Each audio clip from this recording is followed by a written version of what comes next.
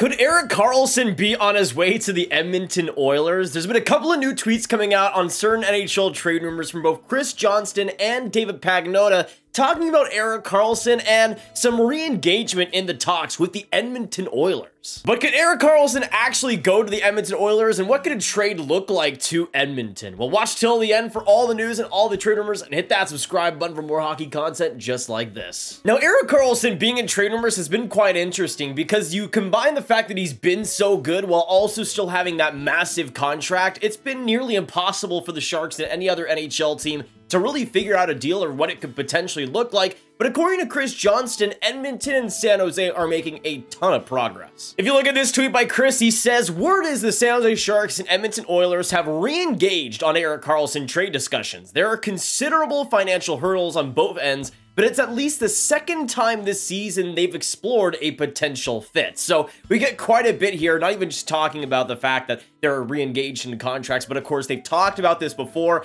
and have circled back to interest. So not only has Edmonton had interest in Erik Karlsson before, they're coming back on the Erik Karlsson camp, which means that they're probably a lot more serious this time. And those financial hurdles are absolutely there. With Erik Karlsson, he makes 11.5 million for the next four seasons after this. So although he's having a fantastic Norris candidate quality season. He's been fantastic, but that contract will definitely come into play. Even at 50% retained, if you have him at 5.25 million, that's still a big contract for the next four seasons that any NHL team would have to plan to keep in on the roster, especially a team like Edmonton, who is already so cap strapped. To even bring on a 50% retained deal like that would be massive. Now, one big part of this Erik Karlsson deal on top of the $11.5 million cap hit and on top of the four years after this remaining is that full no move clause. So Erik Karlsson will need to accept any deal that is proposed to him but I do have a feeling that if Edmonton does have the go-ahead, if they're in a situation where a Erik Karlsson deal will happen, and that's the only choice that Karlsson has, I have a feeling that he might want to go there just to compete, just to win that Stanley Cup and get that Stanley Cup under his pedigree. But to be honest, that could be still a major hurdle. We don't know really if Erik Karlsson wants to go to Edmonton, and that could be the main thing that stops this deal from happening. Now, we got this part as well in this tweet from David Pagnotta of the fourth period, and he says this, mentioned yesterday talk that has picked up surrounding Karlsson. San Jose is chatting with multiple teams, and as CJ says, Oilers are one of them. Sharks willing to retain some salary, and I'm told the ask still includes a couple of first round picks. And going to that seems to be some traction in the Erik Karlsson front and talking about the multiple teams that could be in on him and already are in on him. But you consider the season that he's had. And to me, I think the contract might be something that teams are still willing to bring on, especially if there is salary retention. I think a few months ago when we were talking about the Karlsson situation, San Jose wasn't too keen on retaining too much salary, but it seems like they're more open to that, which is what they should be doing. Let's be real. They're not going to be competing over these next four years while they're retaining the salary. So to me, if they're able to retain salary, get as many picks as possible, that's what San Jose should be looking for. But if they get a couple of first round picks, to me, that should be an obvious yes by San Jose. Even though Karlsson, I think if he had a great contract, would be worth more than that. That contract still does come into play, and that's why it might not be as big of an asking price as some teams might have to give up. But still, two first round picks for a 32-year-old defender who's locked up for a long time and won't be really in his prime by the time the Sharks are actually hopefully competing in a few years' time. And to me, San Jose should absolutely be doing anything possible. I'd be retaining 50% if I could, if I can get a couple more picks for it. And I think for teams like Edmonton, that's going to be a must in a deal. But you just see the season that Erik Karlsson is having. Last year in 50 games, he got 35 points. Now this year in 53 games, he has 17 goals, 53 assists, 70 points, is leading all players in even strength points, is leading all defensemen in points. Offensively, he's been one of, if not the most impressive player this season for the team he's on in San Jose and what he's been able to do on the back end. Now, defensively, He's not going to be doing all that much, but that's not what you're getting Erik Karlsson to do. If he's on Edmonton, he immediately makes that amazing power play, like one of the best power plays we have ever seen. And combined with McDavid and Draisaitl and all the all the offensive forward weapons they have, it could be absolutely insane.